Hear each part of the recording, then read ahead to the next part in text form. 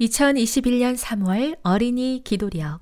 이번 기도력은 원주 중앙교회를 섬기고 계신 심용배 집사님께서 준비해 주셨습니다. 아빠의 눈으로 본 하나님의 마음. 에녹은 무드셀라를 낳은 후 300년을 하나님과 동행하며 아이를 낳고 아빠가 되어서야 하나님의 사랑에 눈을 뜨기 시작해요. 아이의 모습 속에서 나를 보고 또 나를 바라보는 하나님의 마음도 보게 되죠. 이번 달에는 우리를 바라보시는 하나님의 마음을 보며 모두가 기쁨이 넘치는 시간이 되길 기도해요. 3월 1일 월요일 세발 자전거 그는 넘어지나 아주 엎드러지지 아니함은 여호와께서 그의 손으로 붙드심이로다. 시편 37편 24절 4살 때 현우가 처음으로 세발 자전거를 타는 날이었어요. 자전거에 앉혀주었는데 그냥 앉아있기만 해요. 어떻게 타는지 모르거든요. 다리에 힘이 없어 페달도 돌리지 못해요. 그래서 아빠는 기다란 줄을 가져왔답니다. 자전거 손잡이에 묶어 앞에서 끌어줄 생각이지요.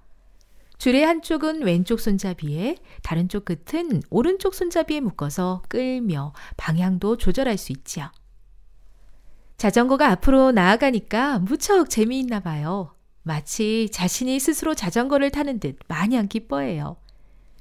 그런데 손잡이를 현우도 왼쪽, 오른쪽으로 돌릴 수 있으니까 똑바로만 가지 않아요.